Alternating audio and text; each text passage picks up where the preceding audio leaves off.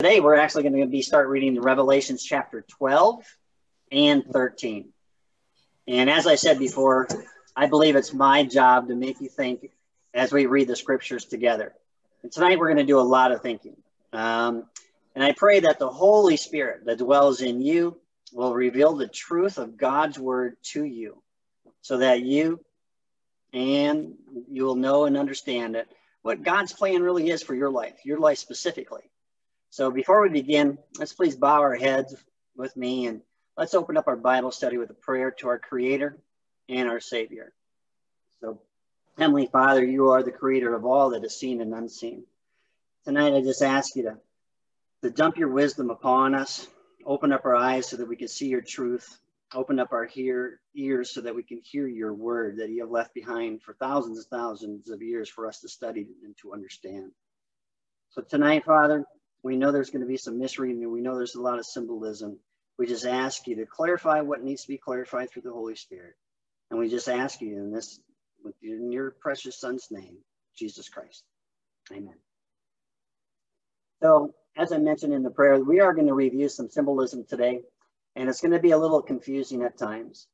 And I just recommend that we don't focus too much on the details so that we don't lose the, the grand scale of the vision that God has left behind for us to read and understand to the best of our ability, the best of this fleshly body, that ability.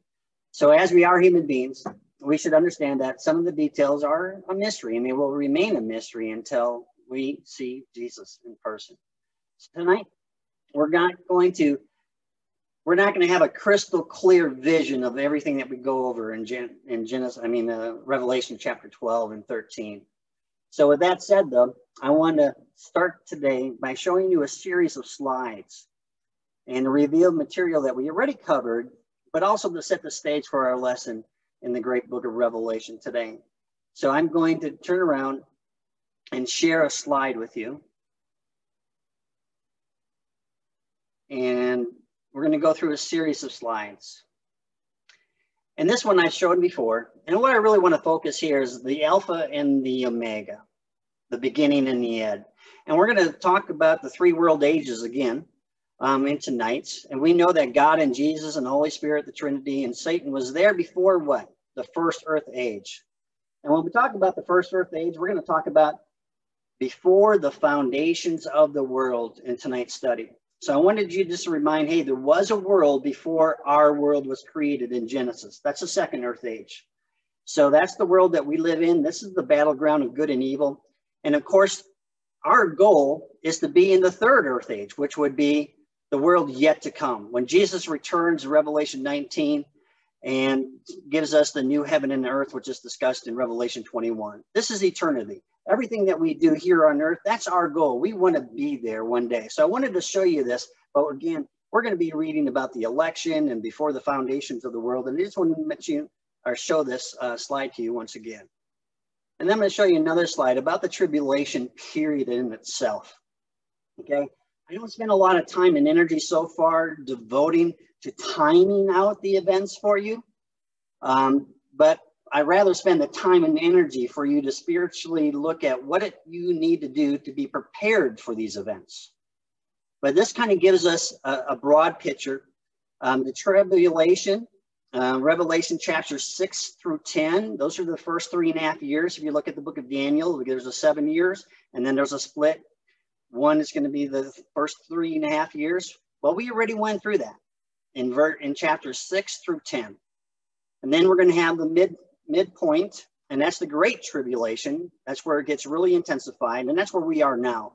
Revelations chapters 11 and 18. So this is the second three and a half years. We introduced that in our study last week when we had the two witnesses in chapter 11. So that was kind of the beginning of that. And of course, we'll have Armageddon and Jesus coming in Revelation 19. But I just kind of wanted to give you a quick picture of where we are in our study tonight. We're in chapters 12 and 13. And I want to show you this one again, but I added a few things. So this was the triangle. And inside the triangle, you have us. You have planet Earth, you have you, me, others. We talked about government, religion, finance, and education. But what I added this time is just like we have the Trinity, we have God, we have Jesus and the Holy Spirit, Over here, you have Satan. And tonight, we're going to talk about the first beast, which is the Antichrist. And we're also going to talk about the second beast, which is the false prophet. So you can see they also have their own somewhat of a trinity, the three of them. And what's the goal of Satan in all these things? Well, he wants to what? Dominate Mother Earth. He wants to dominate you. He wants to dominate me. He wants to dominate others. He wants to get involved in us so that we will denounce Jesus Christ as our Lord and Savior and he can steal our soul. We know that he's going to go into government. We're going to talk about potentially how he's going to create a one world government. You know he's going to be in the religion, the religious industry. He's going to then have eventually one religion throughout the world. He's going to be using money against us. We're going to talk about how we can only sell or buy goods by what? Taking the mark of the beast. We're going to go over that tonight. And of course, they're going to redo all this education. So we're going to go and, and I just wanted to point this out to you. His job, and that's all that he wants to do, is dominate this world and everybody in it so that he can steal their souls. That's his only only motivation. And he does that and thinks about it every day, every minute of every day. He's persistent. So then I wanted to go in here and we're going to talk about some of the efforts to destroy Jesus, this is this, uh, the Messiah. So this was when Satan, this is only some of them, not all of them, but just as a reminder that Satan has been after Jesus from the beginning. So in Matthew chapter 2, verse 16, verse 16 reads, and this is a reminder for you guys and gals, but Herod was furious when he realized that the wise men had outwitted him. He sent soldiers to kill all the boys in and around Bethlehem who were two years old and under, based on the wise men's report of the star's first appearance. Verse 17 Herod's brutal action fulfilled what God had spoken through the prophet Jeremiah, which is, A cry was heard in Ramah, weeping and great moaning Rachel weeps for her children, refusing to be comforted, for they are dead. This is when he, King Herod, dominated by the devil, sent out his troops to kill all the babies two years and younger. Remember that? He was trying to get what? Baby Jesus. So I'm going to take, show you a couple of other times where Satan, we can see his efforts to try to destroy Jesus. Number two, Matthew chapter 4, verse 1. Then Jesus led by the Spirit into the wilderness to be tempted there by the devil. But we know that Jesus overcame the temptation of Satan during that time frame. And number three, Judas' betrayal. So in, in the Gospel of John, same author that is in the author of Revelation, John 13, chapter 2, it says, during supper, this is the Last Supper, the devil having already put into the heart of Judas, Judas Iscariot. So the devil is working in the Last Supper. And he got into the heart of Judas Iscariot, the son of Simon, to betray him, betray Jesus. Verse 3 Jesus, knowing that the Father had given all things into his hands and that he had come forth from God and was going back to God, he didn't want Jesus to exist because he wanted to control the world forever and ever. So he knew that Jesus was standing in his way. And of course, number four, the cross. Jesus surrendered his life on the cross in order to beat death and Satan. Okay, so these are some of the, the areas where Satan himself tried to take care of Christ before he became the Messiah to be ascended into heaven to see, be seated at the right hand of the Father. So now we're going to pick it up. We're going to chapter 12 in the great book of Revelation. We're going to pick it up with verse 1. And verse 1 reads And a great sign appeared in heaven a woman clothed with the sun and the moon under her feet, and her head a crown of 12 stars. So this is typically referencing the nation of Israel. And of course, the 12 stars would be the 12 tribes. Verse 2 And she was with child, and she cried out, being in labor, in pain to give birth. So, what is she doing? She's giving birth to a whole new age, a whole new world through who? Jesus Christ, the Messiah, through what? The tribe of Judah. That is the line where Jesus comes from. So a whole new earth age is being born. Verse 3 And another sign appeared in heaven, and behold, a great red dragon, having seven heads and seven or and ten horns, and on his heads were seven diadems. Okay, so I'm not going to go into the details of what this represents, because but it remembers what represents nations, rulers, wisdom, authority, power. And we're going to see the first and second beast have something similar.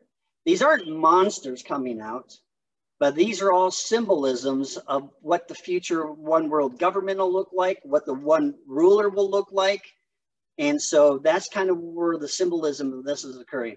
I'm not going to talk about which country and what nation is going to be the super dominant power. It doesn't matter for our salvation. Okay. Remember, the one biggest sign that you will see is when the two witnesses appear. That will be an undeniable sign that the second half of the three and a half years has begun, the Great Tribulation. So, all these other signs, I'm not going to waste a lot of energy to go down that road because at the end of the day, it's not going to prepare you to the road, to the successful journey in the road of salvation. So, I'm going to continue with verse 4 and his tail swept away a third of the stars in heaven and threw them to the earth. And the dragon stood before the woman who was about to give birth, so that when she gave birth, he might devour her child. So God is evicting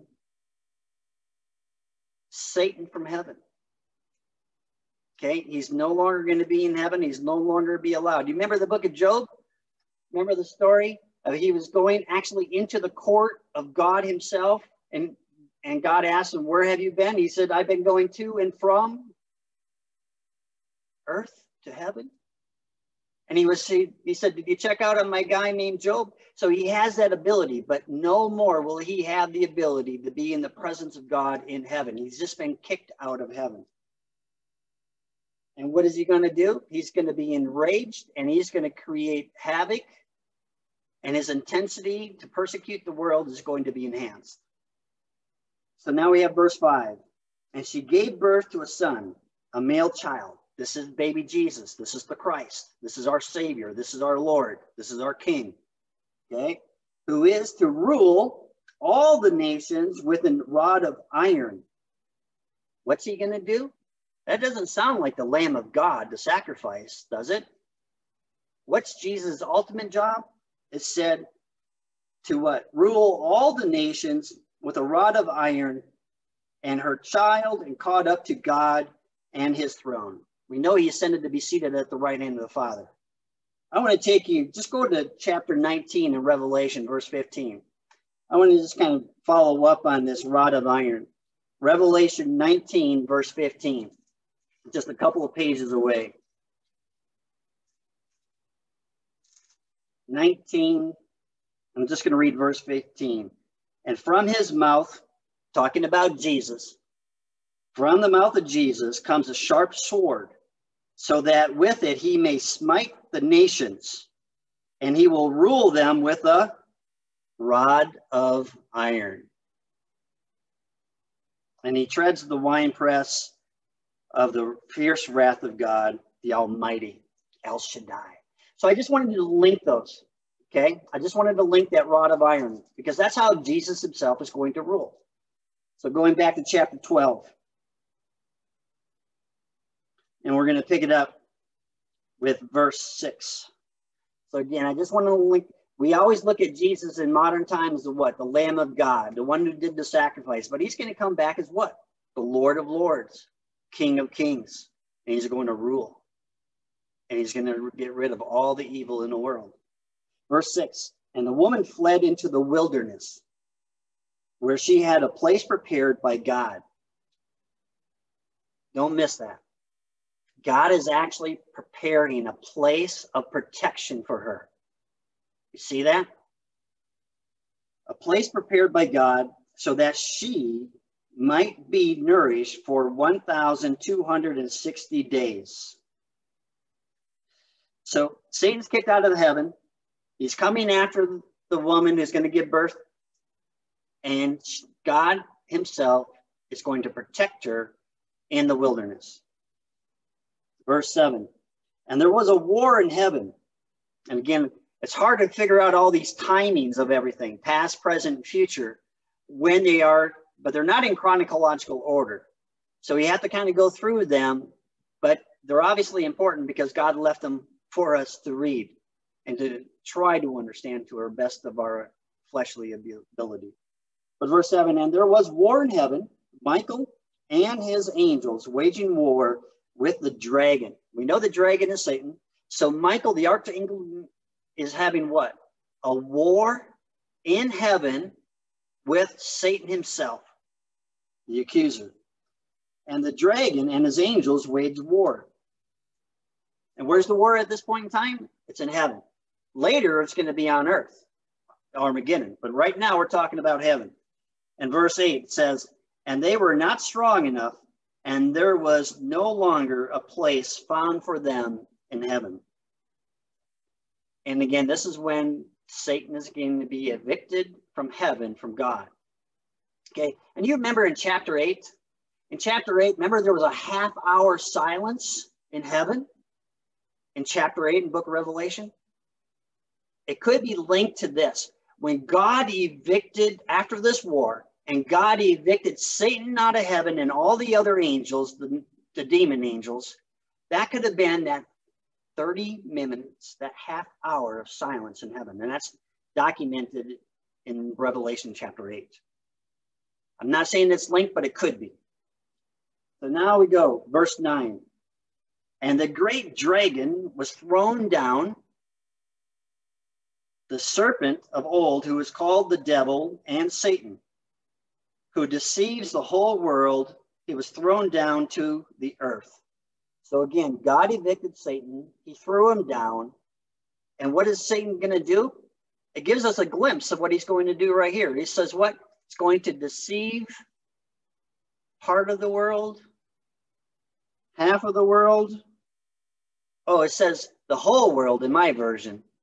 Does it say that in your version as well? The whole world. And his angels were thrown down with him. And you remember in the book of Luke, Gospel of Luke, Jesus also commented in, in chapter 10, verse 18 that he saw Jesus and the angels fall.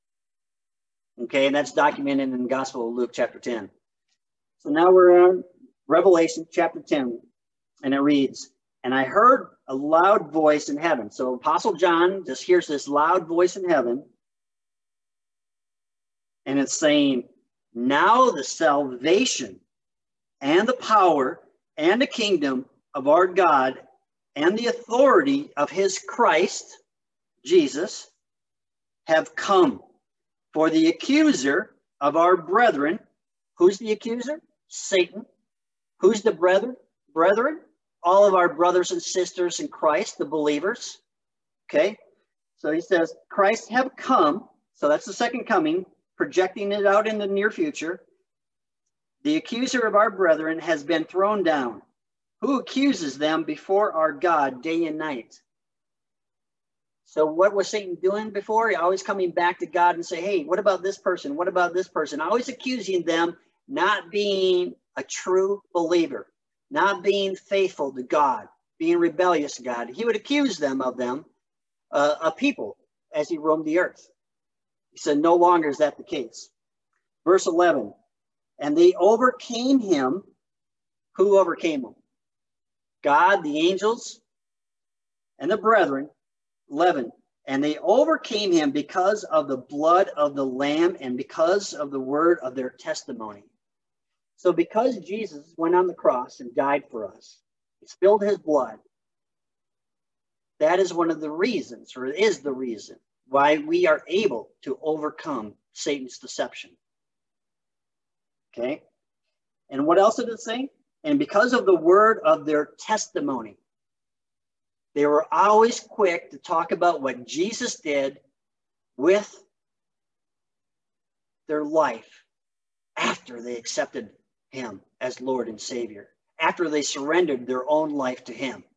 So they were actually witnesses by sharing their testimony. And that's what also helped them become what? Overcomers. Okay, read that again in a lamb. Because of the word of their testimony, so they're speaking God's word, being witnesses of what Jesus has done for them. And they did not love, here's the kicker, ladies and gentlemen. This is probably our biggest challenge for ourselves and everybody else.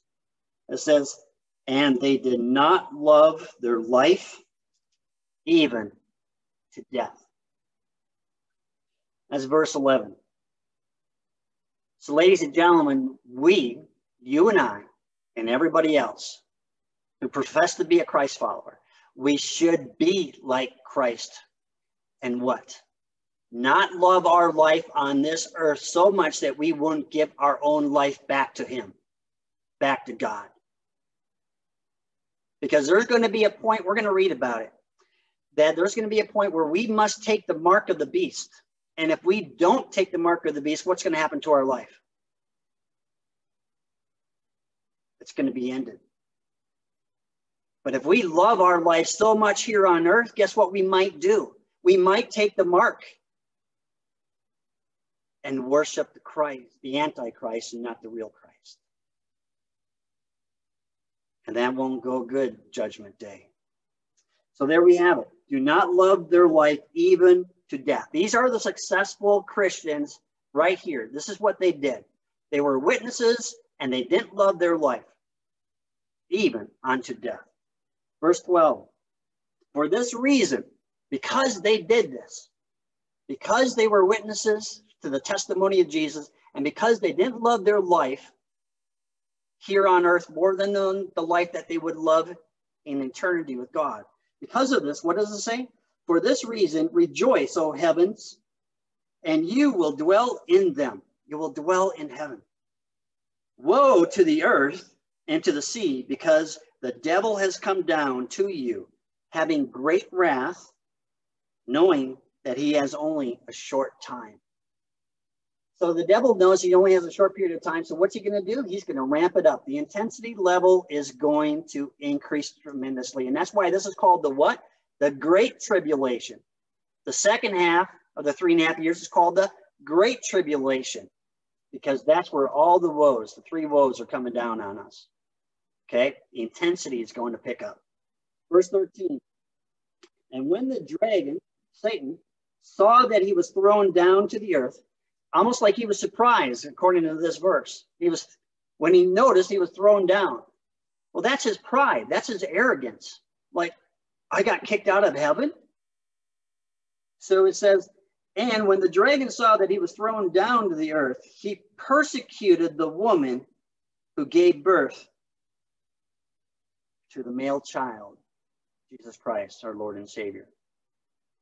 Verse 14 And the two wings of a great eagle were given to the woman in order that she might fly into the wilderness to her place. This is the place that what? God created for her to protect her and the child so that the child would live to ultimately go on to the what? The cross, the sacrifice's life to give us the grace and the opportunity for hope of eternal security. So he says, fly into the wilderness to her place where she was nourished for a time and times and a half of the time from the present presence of the serpent, protected from Satan for a period of time.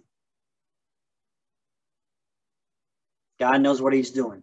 And this is in the wilderness.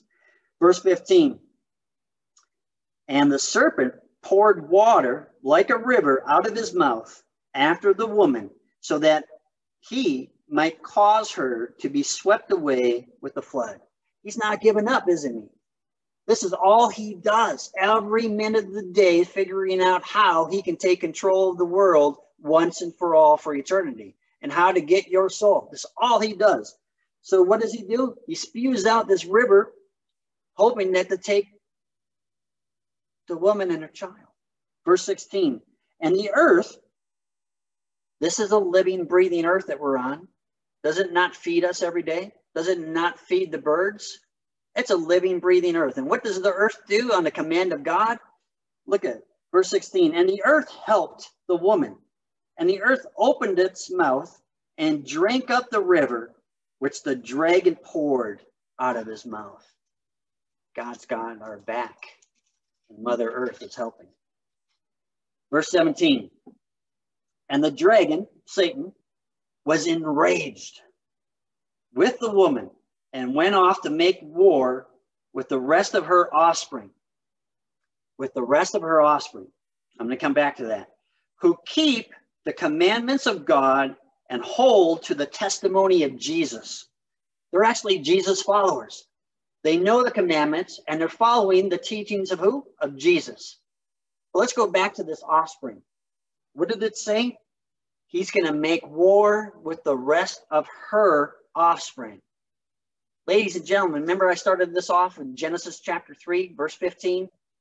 Remember the curse after the fruit was taken and sin was entered into the world by Adam and Eve?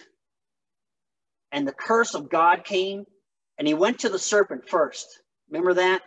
And he said, I will create hostility or enmity between your seed and his seed, or his seed and her seed. You remember that? Genesis 3:15 if you don't. What's happening right here, ladies and gentlemen? Satan. Let's read it again. He's so mad, he went off to make war with the rest of her seed.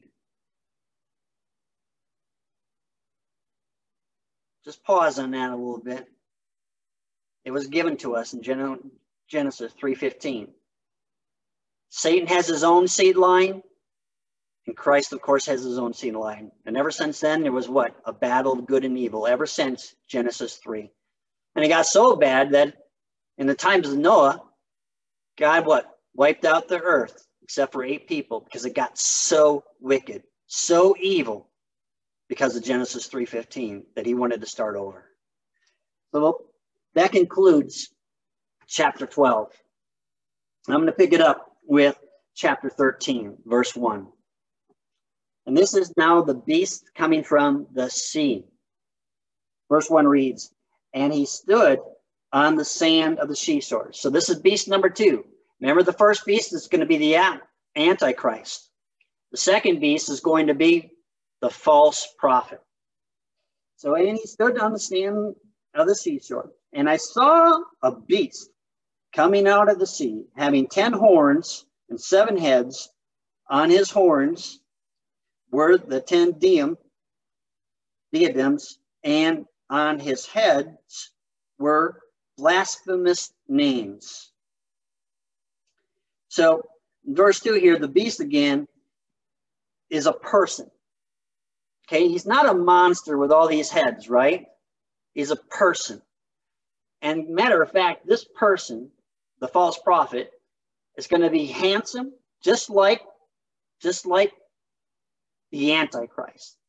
And he's going to come and he's going to have a tongue and he's going to be able to speak beautifully and people are going to listen to his voice and his wisdom and he's going to look handsome he's going to talk about prosperity and he's going to get the attention of the people because he has those skill sets those characteristics so it continues reading verse 2 and the beast which i saw was like a leopard so here are some of his characteristics internally Okay, not on the outside. On the outside, he's going to look beautiful. Remember, Satan was the highest level angel ever created by God. Okay, and now Satan himself is going to use the beast number one and the beast number two to what? Control this world, complete domination. So it continues reading. This is some of the characteristics, the internal characteristics, which I saw was like a leopard, and his feet were like those of a bear with the claws and the crushing power of his feet, and his mouth like the mouth of a lion roaring, and then, of course, he will tear your flesh apart, like Satan will tear your soul apart. And the dragon gave him his power and his throne and great authority. Who gives the beast the power and authority? The dragon. Satan himself is giving this beast and the other beast his authority, his power. Don't miss that. Verse 3 And I saw one of his heads as if it had been slain. So one of these heads, figure it might be a nation, but I'm not sure exactly what this is. But check this out. And I saw one of his heads as if it were slain, it was dead, and his fatal wound was healed. So, ladies and gentlemen, there's going to be like a resurrection here. Something was dead and it was healed. And people are going to look at it as a resurrection. And it was a fatal wound, it was healed. And the whole earth, what did it say? About half the earth, about a quarter of the earth, about a third of the earth? It said the whole earth was amazed and followed after the beast. Why were they amazed? Because it was dead and it was risen again. It was healed from death. And the world was amazed by that power. This is the dark power. This is the evil power. This has nothing to do with God, Jesus, or the Holy Spirit. This is the dark side. And they have the power to heal. Who gives them the power? God allows it to happen. Okay. Verse 4 And they worshiped the dragon because he gave his authority to the beast. So now they're worshiping who? Satan, and they're worshiping the beast. They're worshiping two of the three right here in this verse. They're not worshiping God, they're not worshiping Jesus. The whole world is what? At this very moment, worshiping who? The dragon, Satan, and the beast, because they saw this amazing healing. Okay, let's continue. So Satan is getting his because of the authority he gave to the beast, and they worship the beast, saying, Who is like the beast? And who is able to wage war with him? They think he is so outstanding that they're worshiping him. And they're even referencing now who could even beat the beast? Who could? Well, ladies and gentlemen, you and I know who can. Jesus Christ. He's going to wage war and he's going to take no prisoners. But at this very moment in time, everybody is what? Worshiping them. Verse 5 And there was given to him a mouth. So he has a beautiful mouth, a sharp tongue, going to be able to speak beautifully. And but in him a mouth speaking arrogant words of blasphemies and authority to the act of 42 months was given to him, the three and a half years. Okay, blasphemies. Remember the abomination of desolation? Okay, he's going to set himself up as what? Christ. And he's going to blaspheme God and Jesus and from the past and say that he is the true, real Christ with Satan as God. And that's where the blasphemies come from. Okay. And for how long? 42 months. The Great Tribulation, the three and a half years. Verse 6 And he opened his mouth to blasphemies against God,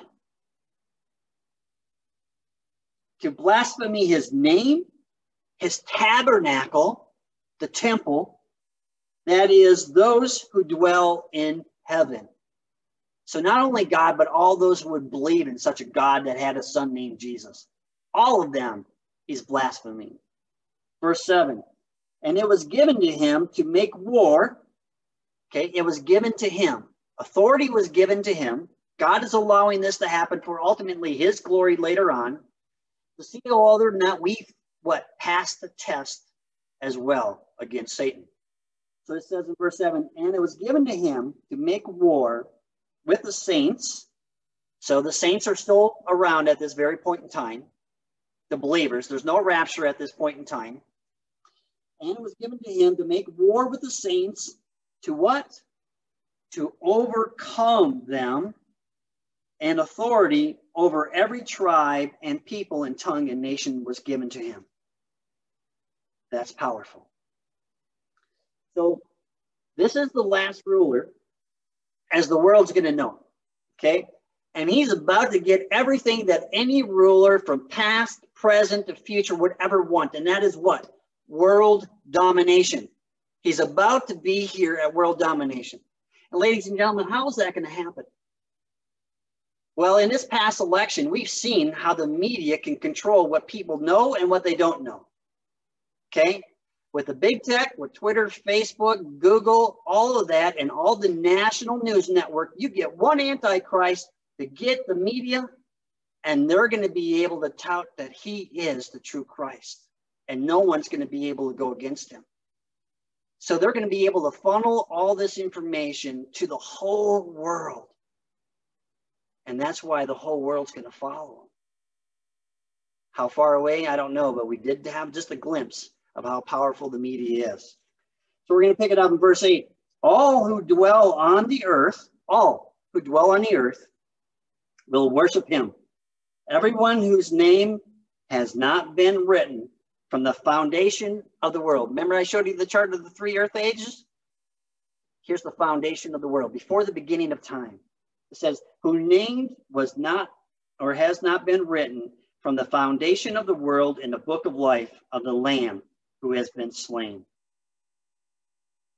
So the earth dwellers who choose to worship the beast instead of Jesus. This is why their names can be permanently taken out of the book of life. Because they don't know what is about to happen because they're not what? Biblically trained. If you know this is going to happen, well, when you see it, are you going to understand what's happening? But if you don't know these verses, how are you going to prepare yourself? You're going to be one of the other dwellers who what? Worships the Antichrist. Okay, verse 9. Anyone has an ear, let him hear. Verse 10 If anyone is destined for captivity, to captivity he goes. If anyone kills with the sword, he must be killed. Here is the perseverance and the faith of the saints. These are characteristics that Jesus followers must have perseverance and faith, strong faith. Faith enough even to say, I will die for my Lord and G- my Lord Jesus, my Savior. Picking up verse 11. The beast, the second beast from the earth. And I saw another beast. Okay, beast number two. This is going to be the false prophet. And I saw another beast coming out of the earth. He had two horns like a lamb, and he spoke as a dragon. He spoke like Satan himself. Verse 12, and he exercises all the authority of the first beast in his presence, and he makes the earth and those who dwell in it to worship the first beast whose fatal wound was healed. What is the false prophet's job? To lift up the beast so that all of us will worship who? The beast who was healed. That's the job of the false prophet. It's almost like, remember, John the Baptist was the forerunner for Jesus Christ? And he warned people, hey, look out, Jesus is coming, Christ is coming. Okay? The false prophet is going to brag about the Christ or about the Antichrist. He was healed from death, and he's going to lift him up. His job's not done. We're going to learn more what he does here. Verse 13, and he performs great signs. So the false prophet is also going to perform great signs so that he even makes fire come down out of heaven. Could be lightning, could be fire, but he's going to have the power to bring that down from heaven to the earth in the presence of men. And they're going to go, ah, oh, unbelievable what I just saw. Of course, that's got to be the Christ. Not if you know the word. Verse 14 and he deceives those who dwell on the earth because of the signs. What's another reason how he's going to deceive the people? Because of these types of signs and wonders, which was given to him to perform in the presence of the beast. They're working in, tan, in as a team, telling those who dwell on earth to make an image. Uh-oh, another warning sign. Now the false prophet is telling the people to make an image of who? Beast number one, the Antichrist. To the beast who had the wound sword and come to life. Now we're going to have what? Worship to an image of the Antichrist. People who do this are going to what? Lose their spiritual virginity. Verse 15. And there was given to him to give breath to the image. Okay, here's the power, here's the signs, here's some of the wonders. They create an image, and he's going to be able to give the breath of life to it, breath to the image of the beast, that the image of the beast might even speak and cause as many to not worship the image, the beast, to be killed. So this is powerful stuff happening.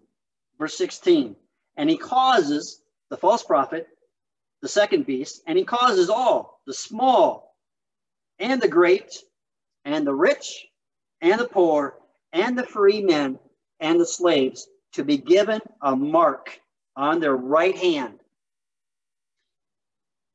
Right there is a hit for God because where's Jesus seated? At the right hand of the Father. Where did Jesus tell the apostles to fish off? The right side of the boat. Satan did it on purpose, the right hand. Okay. So now you have to have the mark. To give him the mark on their right hand or on their forehead.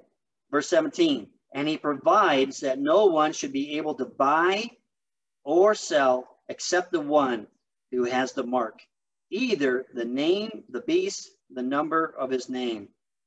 Ladies and gentlemen, right here, this action is going to create martyrs or it's going to create traitors to Jesus Christ. Because if you love your life so much here, you decide to take that mark, you are now worshiping who? The Antichrist. But if you do not like your life that much that you're willing to die for your Christ, your Jesus, our Lord and Savior, right at this moment, then you'll be taken out, but you're going to go directly where? Heaven. Don't miss this point. Verse 18 Here is wisdom. Let him who has understanding calculate the number of the beast, for the number is that of a man, and his number is 666. So, ladies and gentlemen, I'm going to take you to a couple of slides real quick, and then we're going to open it up for aha moments and questions or comments. So I'm going to show you a couple more slides. So right here, this is like a promissory note. Some of you know what a promissory note is, but the amount of this particular promissory note, what's at stake is eternal life. That's the wages here. And where's this going to take place? It's going to take place in heaven. And when can you take this promissory note and redeem it?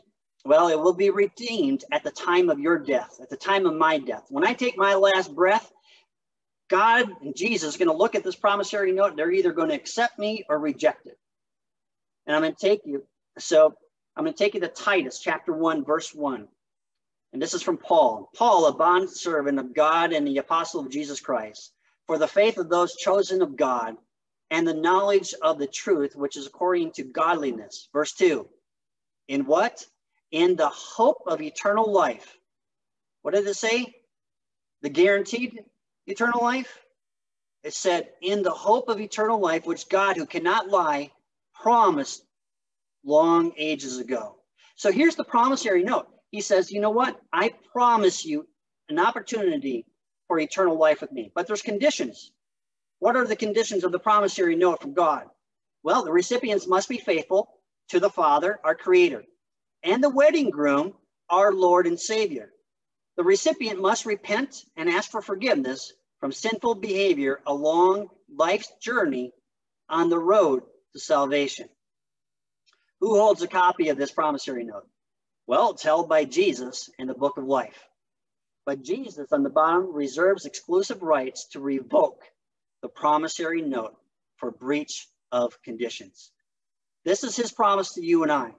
So I wanted you just to kind of see this and then back it up and document Titus 1. Everybody should write that down. So now we talk about the road to salvation. When does salvation actually take place? Salvation takes place when we take our last breath. That's when Jesus will decide where we go, whether our name, whether or not our name is in the book of life. So here we are over here. We're born. This is the Alpha and the Omega of our personal life. We get on the road to salvation. We either decide to be what? Obedient to God's word, or we decide to be disobedient. Or sometimes we might be obedient and sometimes we might be disobedient. Along our journey in our life, on our way to the road to salvation, our faith either will get stronger or weaker, or maybe won't even exist.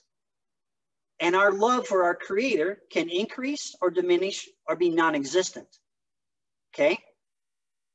But in the meantime, we got Satan, we got all the e- evil angels and the evil doers, and say we want, because our pleasure of our eye, we take a left turn over here because we want to pursue to worship idols, or we want to pursue fortune, or we go down the road a little bit further in our obedience, but then I get weak in the flesh and I want to commit adultery. Or I just want to steal somebody else's stuff. Or I can take a right turn and go down here. I want to commit murder or to worship other gods, which is breaking the number one commandment. Or if I just want to be a liar, or I want to pursue fame at the cost of anything, including my soul. But good news is if you do take these turns, you can come right back here and start all over again on your pursuit to heaven or hell. But here, the redemption loop is available to all of us through what? Repentance and forgiveness. So even if we did this, can we go down here and go through the redemption loop? If we repent of our sins, what did John the Baptist tell us? Repent, repent, repent, and turn back to God. Ask for forgiveness and sin no more. So we have the ability, right? But if you go right by this and you do not repent for this lifestyle back here, then what happens? Something to think about. So I wanted to show that, I wanted you to see how easy it is. Now I'm going to go back to the book of Revelation. What does God say about our journey on the road to salvation? Question mark. So this is from Revelation chapter 21, verses 5 and 8. So God says this in verse 5 And he who sits on the throne, that's God, said, Behold, I am making all things new. And he said, Write for these, he's talking to Apostle John, write for these words are faithful and true. You can count on them, ladies and gentlemen. Verse 6 then he said to me, It is done. I am the Alpha and the Omega, the beginning and the end. Now, this is chapter 21. There's only 22 chapters in the book of Revelation. So it is done. I am the Alpha and the Omega, the beginning and the end. I will give to the one who thirsts from the spring of water of life without cost. Verse 7 He who overcomes will inherit these things, and I will be his God, and he will be my son. That's your inheritance. That's what's at that's what's possible. Verse 8, but for the cowardly, those who love their life here more on earth than they do for their eternal life, those who are going to take the mark of the beast, the cowardly, and the unbelieving, and the abominable, and the murderers, and the immoral persons, and the sorcerers, and the idolater, idolaters, and even the, all the liars. Their part will be in the lake that burns with fire and brimstone, which is the second death. Again, for your documentation, this is God speaking in the book of Revelation at the end of Revelation, verses chapter 21, verses 5 and 8. So I got one more slide to show you. We know this is Satan's world. This is the world we were born into sin. We need Jesus to get to God's kingdom, to be born again. That's why he died on the cross for us, to be that bridge to get to heaven through him. But in Revelation chapter 3, verse 5, he, if you remember what he said, he said, He who overcomes will thus be clothed with the white garments, and I will not erase his name from the book of life. So if we journey down that road to salvation and we're obedient and our faith continues to grow as we grow older in age, and our love for him grows deeper as we grow with age and wisdom by reading his word, then he will not erase our name from the book of life. And I will confess his name. This is Jesus speaking. I will confess his name before my Father and before the angels. He who has an ear, let him hear what the Spirit does or what the Spirit says to the churches. So, does this mean that if we do not overcome on the road to salvation, will our name potentially be erased from the book of life? Something for us to think about. And the last slide, the question I want you to think about, we don't have to answer it tonight, but the question is who does God say is ultimately in charge of your biblical training? He leaves it up to you. Leaves it up to me. He's not going to force us to eat the book. So that concludes our lesson. Chapter 12, chapter 13. Questions? Comments?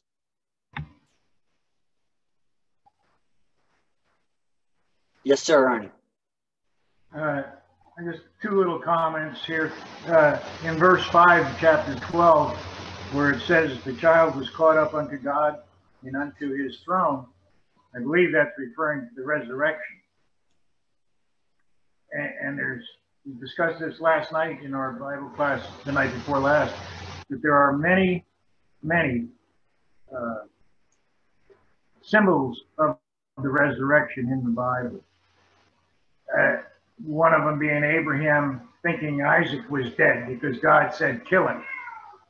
But then Isaac didn't get killed. It's kind of a symbolism of a resurrection. Moses thrown into a basket uh, and the Pharaoh's daughter raising him, another symbol of a resur resurrection. The other thing I wanted to say is in verse 11, it says, uh, they loved their life even unto death.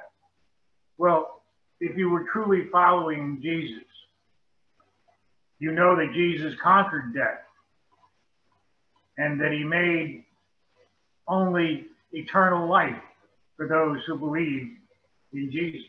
So why would you fear death? It's death of the flesh, not of the spirit. That is true. That is true. And the reason the reason this is here as a warning for us is that because some people in this world, in this earth age, really truly love their lifestyle so much that they don't want to give it up. And if you look at what happened, remember the conversation between in Genesis between Abraham and God, and Lot was in Sodom, and God and, and two angels came down and talked to Abraham and said, Hey, we're going to destroy Sodom. And then Abraham negotiated, Hey, all the way from 50 down to 10. Well, if that you remember real- Lot's wife, if you remember Lot's wife got to escape and they were warned not to turn around. What did she do? She was afraid of the lifestyle she was leaving behind, and she turned around and was turned to dust as a result. She lost her life because she loved, potentially loved her lifestyle in the city of Sodom. And if we love our lifestyle so much here and we take on the mark of the beast, then we will lose the eternal life. Go ahead. You know, he uh, Abraham negotiated down from 50 to 10. He should have really been the writer of the book of the deal.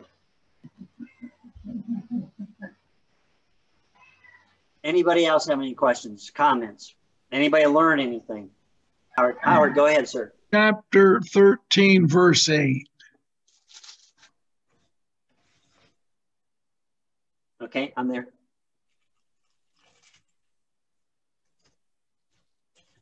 all inhabitants of the earth will worship the beast.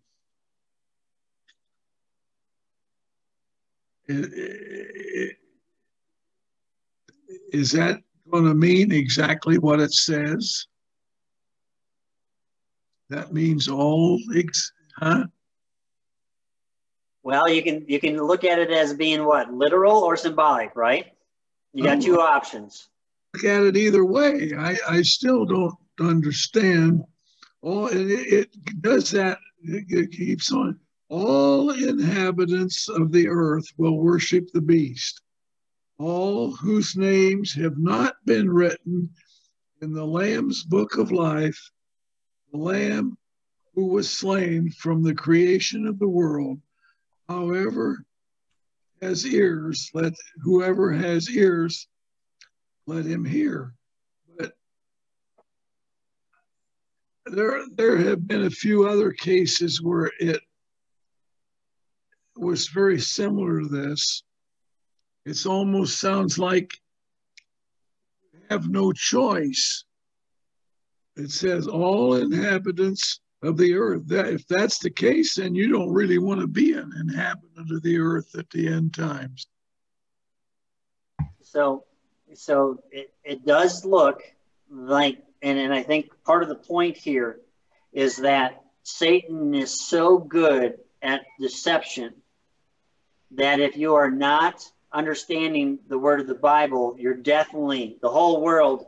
And if you look at our world now, you think biblical literacy is at its highest or at its lowest? Have you ever seen it? So it's at its lowest. So those who do not know that this is going to happen, they're going to think that yes, the Antichrist is the real Christ, and they're going to worship him. They're going to see these miracles, and they're going to go in there. Now, is it the entire world? I cannot say that. There's obviously there's a remnant, and we're going to be talking a little bit more on that in the next few chapters. So there are survivors. We do know that he cre- created a, a, place in the wilderness that is protected for Satan's for Satan's. We do know that there are saints who are going to be witnesses to those who do not believe in the millennium as well. So, so the entire, I don't look at it as 100%. Okay. So let's put it in percentages standpoint. I don't think it's 100%, but it looks like the whole world is following after him. Does that Harry, make any sense? Harry, Harry, oh. my Bible says something a little different. It says, and all that will dwell on the earth shall worship him. Every one of those whose name has not been written from the foundation of the world in the book of life. So if your name was written in the book of life, at the foundation of the world, you wouldn't be worshiping him. I mean, verse 8 specifically says, everyone whose name hath not been written from the foundation. Well, Arnie, I I I concur with your with what you're saying, uh, and that would be my feelings. That if your name is written in the book of life, it's written in the book of life. You're not going to erase it or uh, cut it out or whatever. Uh, maybe it's just that this translation here is not is written exactly like it should have been. I don't know. Well, it's like it's kind of like uh, when we were children, we, we couldn't wait for Santa Claus. But then we became adults and learned that there is no Santa Claus. Okay, it's we worship Santa Claus when we were kids, but then as we grow spiritually, we will worship Jesus. Well, there are other instances. I, I can't point them out right now without going through and really studying it a lot more. But there's other instances where it says that the beast was bringing fire down from heaven. God brings fire down from heaven. It's going to be pretty tough for a lot of people to believe that when the beast brings fire down from heaven, it's not God bringing the fire down from heaven. And there's just other examples that are very similar to that. That's probably one of the reasons why I've always been hesitant to read and and to try and understand uh, the revelations because you you're picking and choosing what you want to believe literally and what you want to believe figuratively I don't think that that's right. That you can that you can.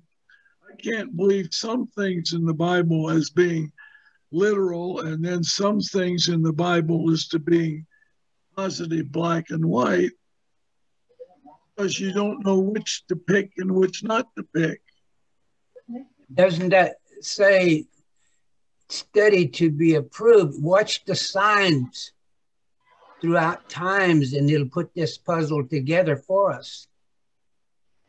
Well, we're going to need God's help to not, as a, as a believer, and assuming your name is written in the book of life, you're going to need a lot of help from God and the Holy Spirit when it comes time to believe uh, some of the things that are going to happen because it, it sounds like it's going to be really bad.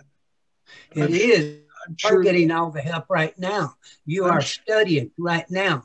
He's yes. given you the ability to even ask the questions. And we have us a teacher, and we have to uh, read and try to keep up with the times also. It's a book like uh, a roadmap. You start in Genesis and go to the end. Oh, and it well, does take a lot of study and a lot of love in your own heart to do it. Well, it takes a lot of power outside of your own ability, I would think, to believe some of the things that it's saying are going to happen as to whether they are happening when God allows them to happen, as to uh, are these things happening because of the beast or because of God? God, God is ultimately allowing it all to happen. And and when I started when I started the, the lesson today, I actually said we will not walk away here with clarity. We will not walk away with a crystal clear vision of what's happening in chapters 12 and 13. And I said, let's not get caught up on some of the details of, of what is written and lose the big picture that God has planted for us. So the importance, the important for us, for, for us to walk away with is the knowledge that there's going to be what? Satan, beast number one, beast number two, and they're going to do everything that they can to what? Deceive the children of God, even the elect if possible. So with that knowledge and knowing some of the, the signs and wonders that they're going to do, we are going to prepare ourselves emotionally, physically, spiritually to overcome. Mm-hmm. Does that make sense? But we're never going to know all the details. There's too many no mysteries. Question. No question about that makes sense. Yeah. The, the, the in my Sunday class, Sunday Sunday school class, yeah, I asked a question, and that question was, why do you think God has told us everything he's going to do from the beginning, Genesis, to the end, Revelation. Why do you think he told us all the things he's going to do, but didn't tell us what we are going to do? And tonight, I think the question was answered by, for me anyway, and that is, he told us everything he was going to do so that we could keep our head down and follow that path 100%, not 90%. In other words, don't get lukewarm Stay hot and follow the path. Well, he's he's not only told us what he's going to do, in a lot of cases, he's told us what he's not going to do. And uh, well, that's one and the same thing. That's one and the same thing. If he tells you he's not going to do it, that means he didn't do it. You know, it, he's going to do it. And uh, it just well, what he's going to allow. Yeah. It was difficult for me to understand. It's still difficult for me to understand a lot of the verses that I read, but it was difficult for me to understand why he would scare the hell out of us by having the book of Revelation. Okay, why would he do that? And it's kind of like I remembered my dad said, "You get, you're grounded, and if you go out one more time, your butt has had it." I mean, it's just a warning that you better that's what, it, that's what it is. It's a warning to beware. Yeah. Not going to be all tea and roses.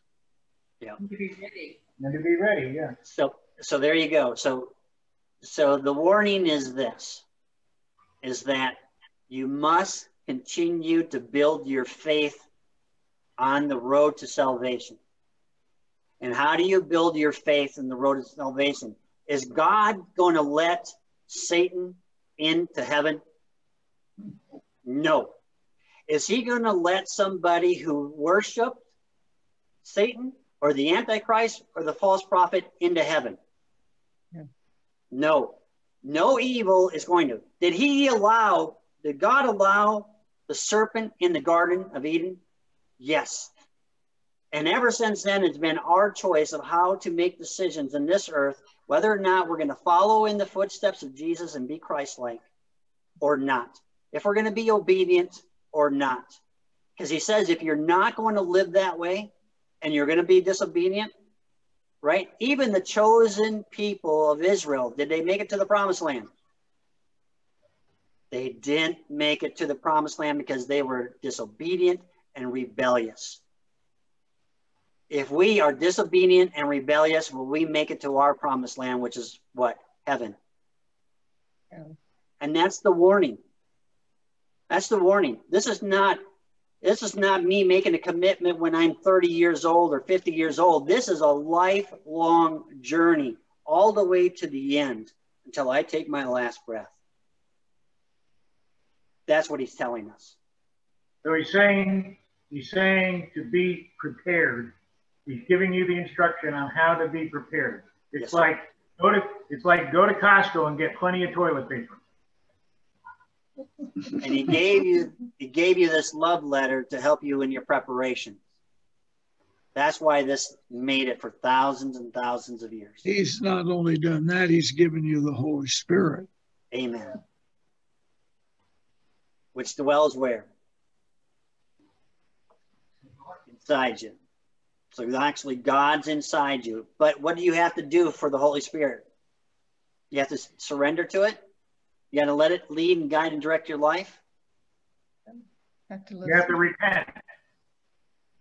Yes, sir. Was the was the the the chart of the road to salvation was that helpful to you at all in any way? It was to me because I got I saw that loop because I already passed most of that road. I'm 73 years old, so I was happy to see that loop. Okay, the redemption loop, okay? Repentance and forgiveness. Okay. So that was helpful. What about the promissory note? Was that helpful for anyone? Good.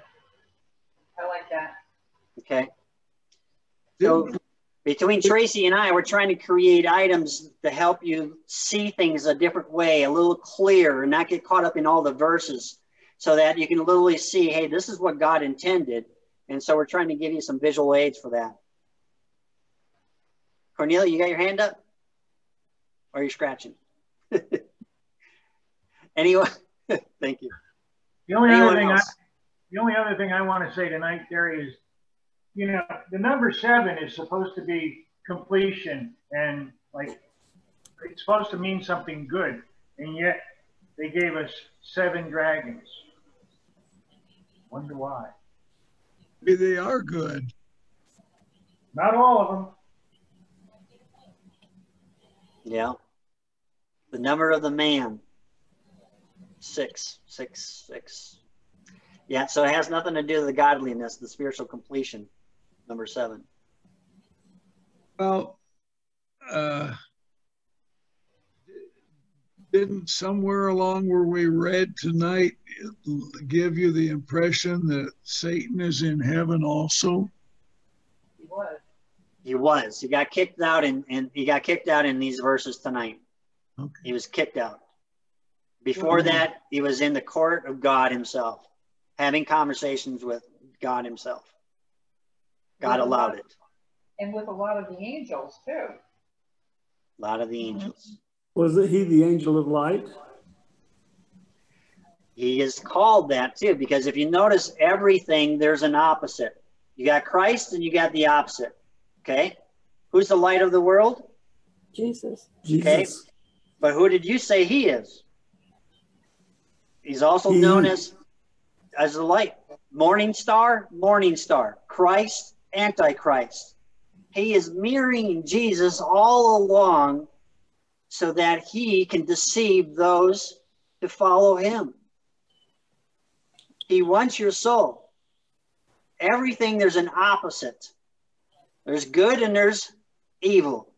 And he's trying to mirror everything he does, that is Jesus, in order to deceive us so that we will follow him into the abyss, into the pit of hell. And that's what's scary, Howard. The scary part about everybody worshiping it is because he's going to perform miracles and actions like Jesus did. Yeah. And it'll be hard for man in his limited mentality to not understand that that is the Antichrist and that though he's performing these miracles, you have to continue your faith in Jesus. It'll be difficult for mankind because man's brain doesn't You're work that gonna, way. you're gonna lose a lot of, of cold weather friends when, uh, it comes down to that.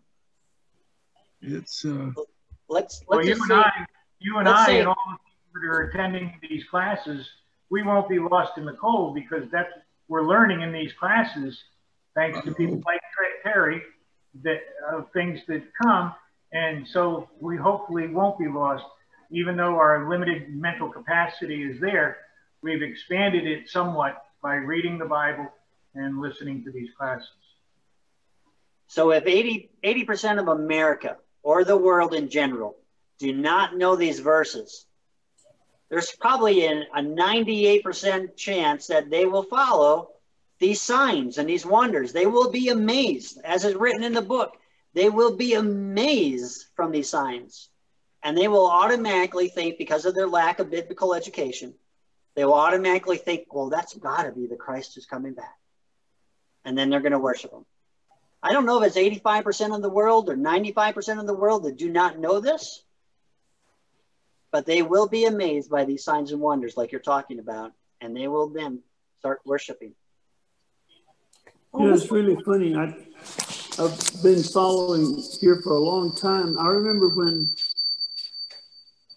Go ahead. I remember when Visa first came out. That was the first credit card. Oh, that was the mark of the beast. You're going to go to hell if you use a credit card. I mean, that's the way that's the way it was. And now it's the uh, injected disc or, or um, chip. You know, that's going to be the mark of the beast. You, you, I'm not going to get one. No, sir. I'll go to hell if I get one of them. And that's not what the Bible says. It's either 666 on the hand or on the forehead. That's the mark. But what I was getting to earlier, you mentioned earlier that there was a 30 minute darkness. You know, when I when I worked for the phone company, we had generators in all the offices. And when the power went out, the generator would kick in. But no matter how hard you tried, when you switched back from the generator to commercial power, there was a, a blink. You think that was maybe when the power of light was switched from Satan to Jesus? I don't know. Could be. Could be. Make you think. Yeah. Well, Howard, Howard, you're old enough that you you were probably around during the resurrection, weren't you? I love you, Howard. I love you, Howard. Okay, so so look at look at it in these terms, right? Do we have all the answers? No, but we have enough knowledge through the Bible, okay? And we have enough real life knowledge. As I mentioned before, how does this happen? How can one person dominate the whole world and be praised and worshiped? And that's when I was talking about the media. If one person really rises up and has that silver tongue and all the media come behind it, the whole world is going to hear only what that person says. And they hear it over and over and over again, backed up by what? Signs and wonders and healing. And they're going to talk about prosperity, giving everybody a chicken in the pot, no student loans, whatever the case may be. And everybody's going to what? Follow them. So it will be eventually one kingdom, one religion, one world financial system. And whoever dominates that, according to the biblical prophecy, will be the what? Antichrist. Yes. Does that give you a picture as well? Yeah. Terry? Yes, ma'am. Thank you so much for teaching this class because I will have to say Revelation has never been my book to go to, but I've learned a lot and I appreciate it. Okay. So fear is usually when you don't know something, right? We're usually afraid of the unknown. And what this is happening here is we're getting educated. And that should take away our fear. Because if we know what's going to happen, we can prepare ourselves spiritually and through our faith for it. And then we will become overcomers. Sure, it might not be pleasant, but at the end of the day, a little unpleasant unpleasantness in this life versus the eternity with God Himself is no comparison. It's no comparison.